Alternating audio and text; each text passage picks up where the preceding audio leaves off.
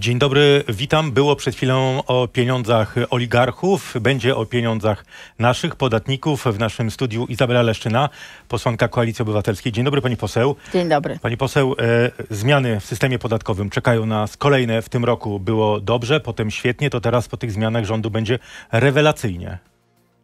No, chciałabym, żeby tak było, panie redaktorze, ale yy, dobrze pan to ujął. Yy, nie wiem, czy dobrze, świetnie i czy Tak przedstawiał rewelacyjnie. to premier za każdym E, razem. e, Za każdym razem, no właśnie. Natomiast przedstawiał też Polski Ład. Miało być genialnie, świetnie i mieli zyskiwać właściwie wszyscy i to miało być w ogóle e, historyczne obniżenie podatku, więc pytam się, co się stało e, i dlaczego przez, e, no niestety tylko kilka tygodni w sumie, razem chyba z Senatem, procedowania tej ustawy w Sejmie, rząd nie słuchał tego, co mówiłam ja, co mówili inni posłowie opozycji, co mówił cały klub Koalicji Obywatelskiej. Mówiliśmy, że ta koszmarna ulga dla klasy średniej, która tak komplikowała system, że wszyscy się na niej Ona wywrócili. znika teraz. E, no tylko panie redaktorze, po co jedliśmy tę żabę? Po co rząd wprowadził przedsiębiorców, płatników, podatników, pracowników e, w taki e, kilkumiesięczny system rozedrgania. Ileś firm ogłosiło upadłość, ludzie nie wiedzieli na czym stoją. E, Nie wspomnę o koszmarze księgowych i, i, i tych, którzy to wszystko mieli liczyć. I będą liczyć jeszcze raz teraz w połowie roku. będą liczyć trzy razy. Mamy rok podatkowy, w którym obowiązują trzy systemy podatkowe. No takiego chaosu y, ja chyba myślę, że w ogóle w żadnym państwie na świecie nikt nie wprowadził. Mamy system z 2021, bo tak obiecał premier. Mamy system, który będzie do połowy roku obowiązywał i ten, który będzie obowiązywał Pani po poseł, lipcu. Pani poseł, pani zdaniem to jest poprawianie Polskiego Ładu, czy ostateczne pogrzebanie tego flagowego projektu? Znaczy ja myślę, że Polski Ład został wyrzucony do kosza i że dzisiaj premier Morawiecki o tym wyraźnie powiedział. To znaczy wyrzucił większość przepisów, które krytykowaliśmy od początku i jakby przyjął poprawki, które Koalicja Obywatelska składała w czasie procedowania To może pani pochwalić Senacie. premiera za to, że słucha. E, Szkoda, że nie słuchał wcześniej, to po pierwsze. Po drugie, mm, ja zas z- z- zastanawia mnie e, jedno. E, Co będzie na przykład z samorządami, które stracą kolejne miliardy złotych? Czy to jest naprawdę już kompletne niszczenie autonomii samorządów? Bo premier dzisiaj powiedział, że tak, samorządy znowu stracą, ale dostaną Wyrównanie znowu pewne. O tym, pani poseł, No. porozmawiamy dalej, bo zostajemy i rozmawiamy o podatkach, ale także o najświeższej dymisji ministra rozwoju Piotra Nowaka. O tym też rozmawiamy dalej na rmf24.pl, w radiu internetowym i w naszych kanałach społecznościowych. Zapraszam. Pani poseł, e, ale może ch- chociaż pochwali pani to, że stawka podatku PIT ma spaść z 17 do 12%. To będzie jednak najniższa stawka e, na skali podatkowej od e, kilkunastu lat, jeśli chodzi, pominiemy tą zerową stawkę. Zgoda. Od początku, kiedy rząd e, zajął się zmianami podatkowymi, mówiłam, że podatki powinny być przede wszystkim proste, przejrzyste i na tyle niskie, na ile to jest możliwe. E, One będą teraz prostsze, bo wyrzucili do kosza tę ulgę nieszczęsną i będzie PIT 12%. Tylko, że panie redaktorze, my y, tak łatwo zapominamy. E, Przed tym, tym całym Polskim Ładem mieliśmy taką sytuację. PIT wynosił 17% i płaciliśmy 1,25% składki zdrowotnej, e, czyli trochę powyżej 18. Dzisiaj będzie pan płacił 12 plus 9, czyli jednak nadal będzie pan płacił właściwie więcej niż przed historyczną y, obniżką podatku. Ale chociaż ci, którzy rozliczają się e, na stawce liniowej do 8700, będą mogli wliczyć składkę zdrowotną w, w koszty, tak zapowiedział premier. No bo przyzna pan, że to było zu, zupełne kuriozum, że mieliśmy podatek zdrowotny opodatkowany. To znaczy składka zdrowotna wchodziła w podstawę opodatkowania, czyli płaciliśmy podatek od podatku. Też o tym mówiliśmy ministrowi finansów. On uważał, że nieprawda. Dzisiaj się z tego wycofują, ale uwaga, nie wycofują się przy skali podatkowej, tylko dla ryczałtu i dla liniowców. Czyli znowu y, jakby trochę upraszczają, ale trochę tej, tego skomplikowania y, zostaje. I pyta pan, czy się cieszę z obniżenia PIT-u? Tak. 5 punktów procentowych, dobrze, choć proszę pamiętać o tym, co powiedziałam, składka zdrowotna 9% jako podatek zostaje, ale ja bym chciała wiedzieć, kiedy rząd mówi prawdę, bo trzy dni temu rząd powiedział bardzo złowróżbną rzecz, że nie stać Polski na modernizację i zbrojenie armii, jeśli nie zlikwidujemy konstytucyjnego progu zadłużenia. To znaczy, że nie mamy pieniędzy. I trzy dni później rząd przychodzi i mówi, że obniża PIT 15 i to będzie miliardów koszt przyznał 15 minister Soboń dzisiaj, że to może być koszt. No właśnie, no to ja się pytam, czy, czy jaki jest stan finansów publicznych? Nie ma ministra finansów i my tego nie wiemy. No chciałabym wiedzieć, jak naprawdę jest.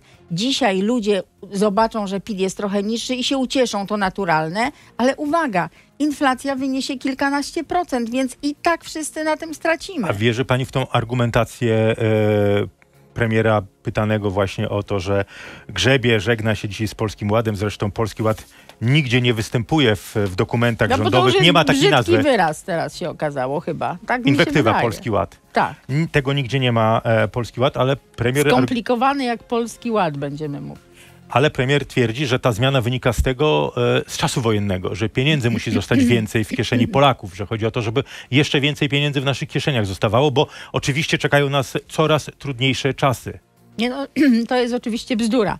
E, Więcej pieniędzy w kieszeniach Polaków zostałoby, gdyby rząd umiał poradzić sobie z drożyzną.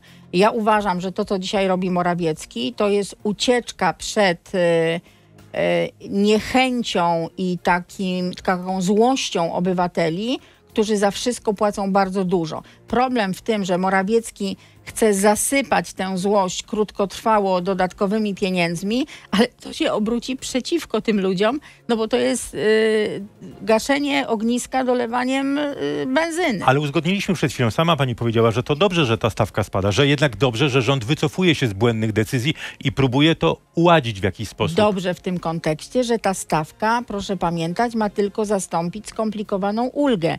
Na niej nikt nie skorzysta bardziej. Na, na obniżeniu tego PIT-u nikt nie skorzysta bardziej niż miał korzystać na tak zwanej uldze. Ulga była skomplikowana, zastępują to niższym PIT-em. Bo panie redaktorze, jeśli ktoś zarabia naprawdę niewiele, czyli 2,5 tysiąca złotych, Nie to są emeryci, y, nic nie odczuje, bo jest kwota wolna 30 tysięcy.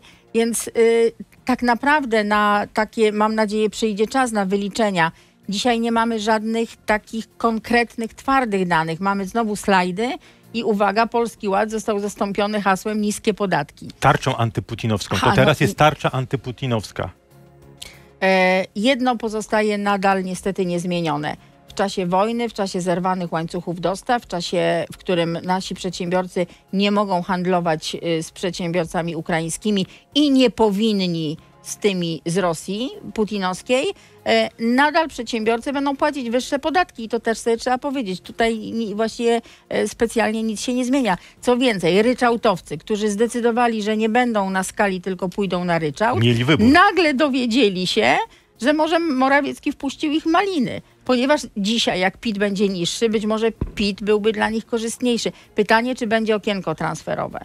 Na możliwość na zmianę jeszcze systemu no tak, no opodatkowania. bo jak się zmienia b, zasady w trakcie gry, no to, to trzeba... Ale wraca chociaż pełne szansę. rozliczenie samotnego rodzica z, z dzieckiem. To też był jeden Ja z postulatów. przypomnę, że Małgorzata Kidawa-Błońska y, złożyła taką ustawę w Sejmie. Platforma Obywatelska ją przygotowała.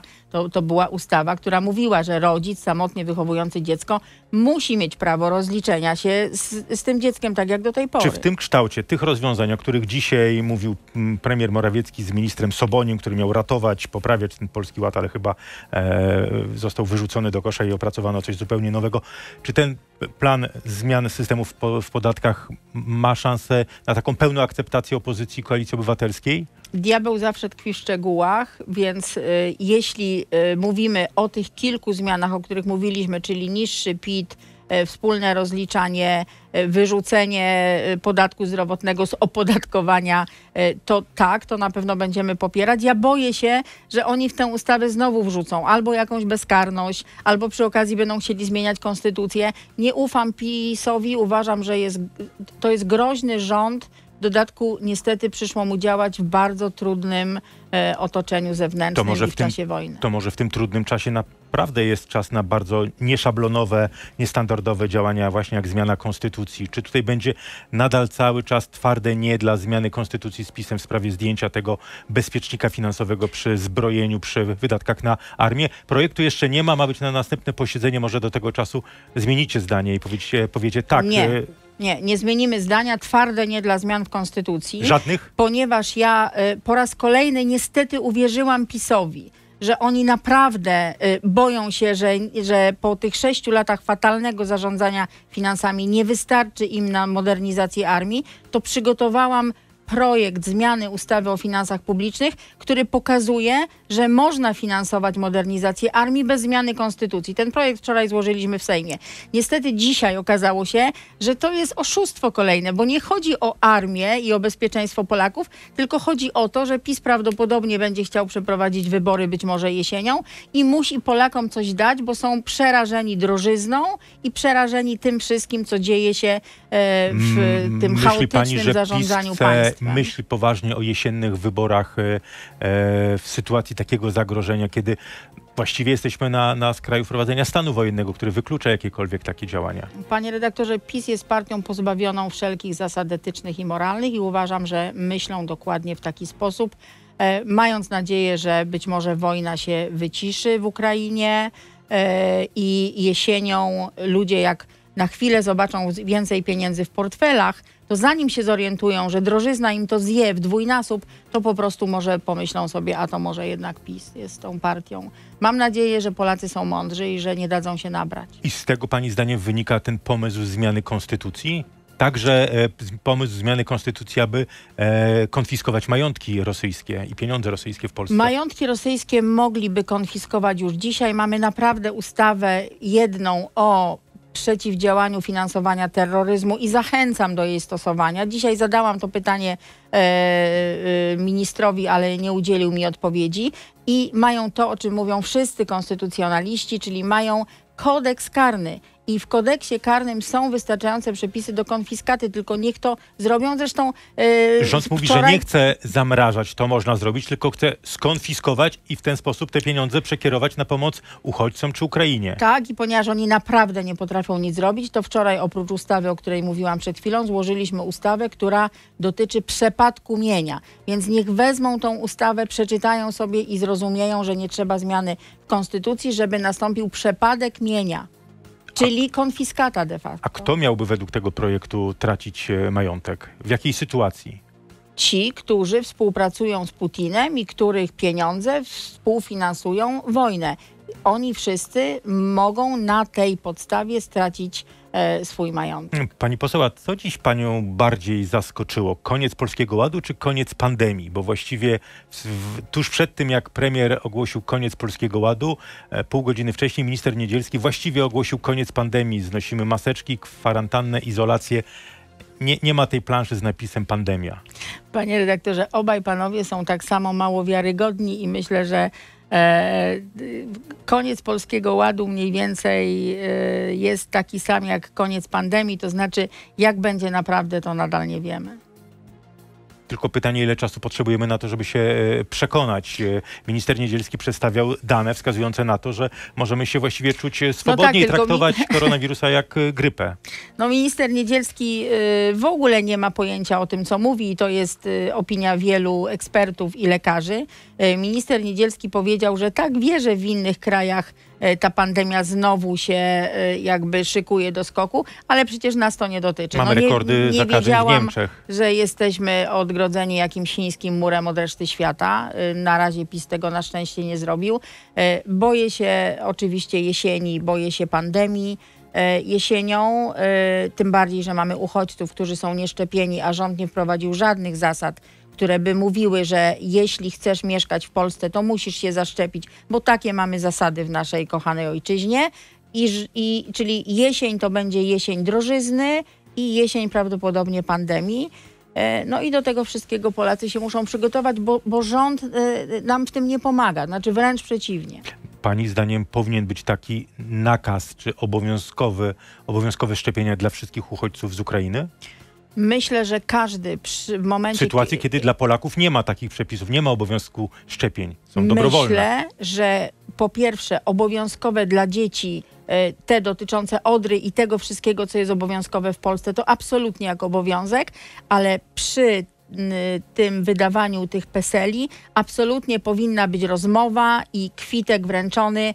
Bardzo proszę, zależy nam, żeby pan, pani poszła i się zaszczepiła. Pan i pani dzieci, jeśli są w odpowiednim e, wieku, ponieważ e, ja myślę, że Ukraińcy dzisiaj są na tyle wdzięczni Polakom, że po prostu taka łagodna, ale jednak perswazja przyniosłaby rezultat. Mhm. Pani poseł, dzisiaj za godzinę, może za dwie godziny e, zaczniecie w Sejmie pracę nad projektami sądowymi. E, te projektami, które teoretycznie miałyby skonsumować oczekiwanie CUE Komisji Europejskiej w sprawie Sądu Najwyższego Izby Dyscyplinarnej. Wiodącym ma być projekt prezydenta. On może zyskać wasze poparcie?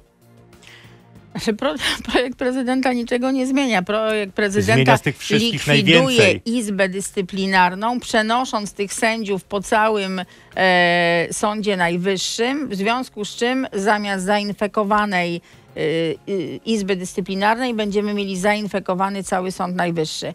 E, jest, Ale ten projekt prezydenta zmienia z tych wszystkich e, politycznych e, PiSu, Solidarnej Polski e, najwięcej, bo chyba zgodzimy się, No że tak, ten projekt naj- wspólny lewicy i środowisk sądowych raczej nie ma szans na poparcie PiSu. Tu nie miejmy złudzeń. Panie redaktorze, jest projekt Koalicji Obywatelskiej i ten projekt naprawdę rozwiązuje sprawę.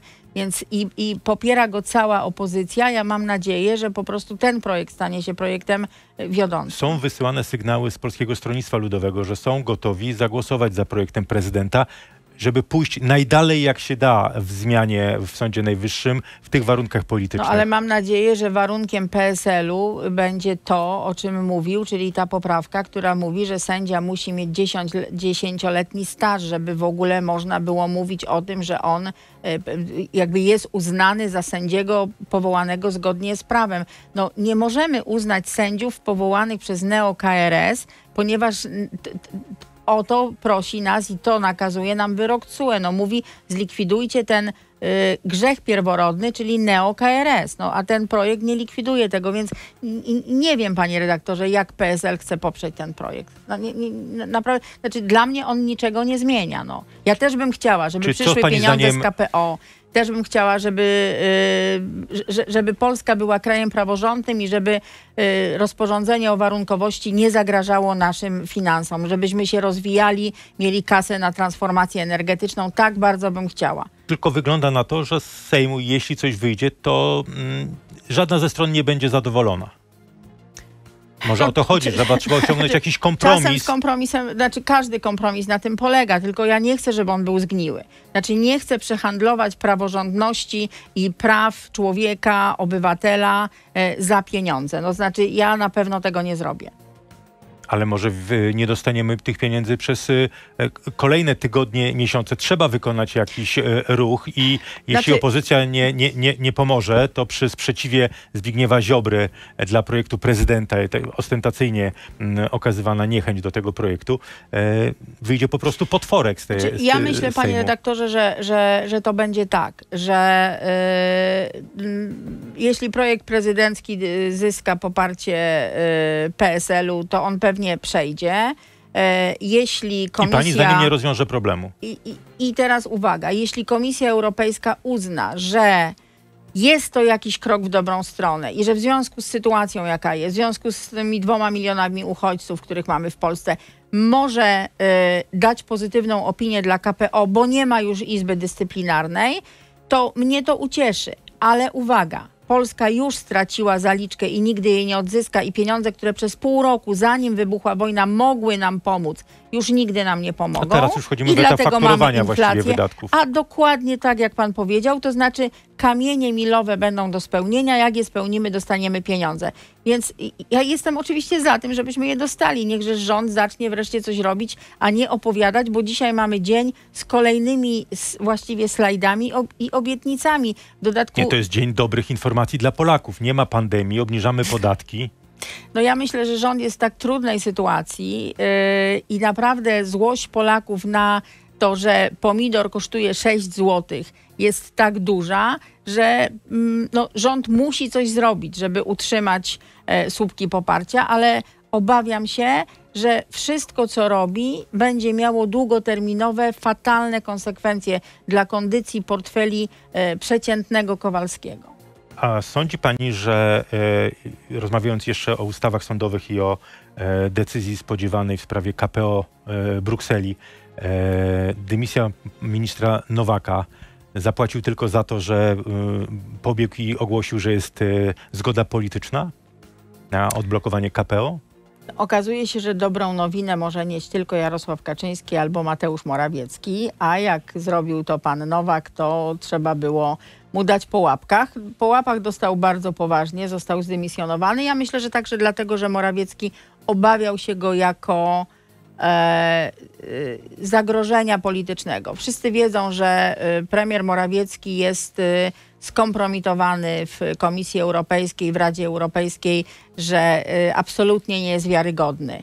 E, Nowak chciał przejąć te rozmowy o pieniądzach Wydaje KPO się, że i w PiSie- budować się na sukcesie KPO? że w PiSie były takie pomysły, że być może Nowakiem, który chyba był jedynym już jakimś merytorycznym ministrem w tym strasznie takim upolitycznionym, ale upo- każdy rząd jest upolityczniony, ale wydaje się, że tam mamy już takich samych nominatów partyjnych w tym rządzie y, i z merytoryką to nie ma nic wspólnego. Więc Nowak był chyba ostatnim takim e, merytorycznym ministrem. E, i pewnie robił dobre wrażenie w, w, w tej międzynarodowej, gospodarczej A może e, przestrzelił, polityce może ogłosił coś, co jeszcze nie było dogadane, a miało być zachowane w tajemnicy. To znaczy tak, ja myślę, że popełnił błąd, no ale taki błąd y, z migami e, czy z misją pokojową NATO popełnił Kaczyński e, i, i do dymisji się nie podaje. No, Z misji pokojowej nie rezygnujemy. Dzisiaj premier bardzo twardo powiedział, że jedzie na szczyt Unii Europejskiej, nadal przedstawiając e, pomysł misji pokojowej, mówiąc, że jak nie przyjmie Zachód tego pomysłu i nie będzie chciał rozmawiać, to zaraz wojska rosyjskie będą nie tylko pod Warszawą, ale i pod Berlinem. Znaczy, premier Morawiecki często nie wie, o czym mówi. Misja pokojowa jest bardzo ważna i potrzebna i ona będzie, ale najpierw musi się skończyć wojna. Znaczy, Czy- nie ma misji pokojowej w czasie wojny. Może być albo misja e, zbrojna, wojenna, albo pokojowa. No, inaczej się po prostu... Zobaczymy, co na ten temat w Polsce będzie miał do powiedzenia prezydent Biden. E, Czy, czy da się wypracować jakiś schemat może takiej misji, mimo tych słów Jeśli prezydenta myśli pan, Bidena, że pre- że żaden amerykański żołnierz nie będzie walczył w, w Ukrainie. I myślę, że tego zdania prezydent Biden nie zmieni, aczkolwiek liczymy wszyscy na to, o czym mówił też premier Siemoniak, że stała obecność wojsk amerykańskich w tej sytuacji w liczbie około 30 tysięcy i absolutnie no, obrona przeciwrakietowa i te wszystkie rzeczy, których Polska nie ma, bo y, zaczął pan Macierewicz, kontynuuje to pan Błaszczak, y, mówię o zniszczeniu polskiej armii i jej ogromnym osłabieniu. Pani poseł, ostatnia rzecz, jak już jesteśmy przy prezydencie Bidenie, opozycja zabiega o spotkanie. Jest w ogóle cień szansy na to, że prezydent Biden spot- spotka się z kimś innym niż prezydentem Dudą, przedstawicielami rządu PiS? Nie umiem odpowiedzieć na to pytanie. Premier Tusk od dwóch dni jest w Brukseli, ale wiem, że dzisiaj wieczorem wraca. E, Pewnie wszystko jest możliwe, ale to nie jest pytanie do mnie. Dziękuję pięknie. Poseł Izabela Leszczyna, posłanka Koalicji Obywatelskiej, była naszym gościem. Dziękuję pani poseł za obecność w Dziękuję studiu. bardzo. Dziękuję.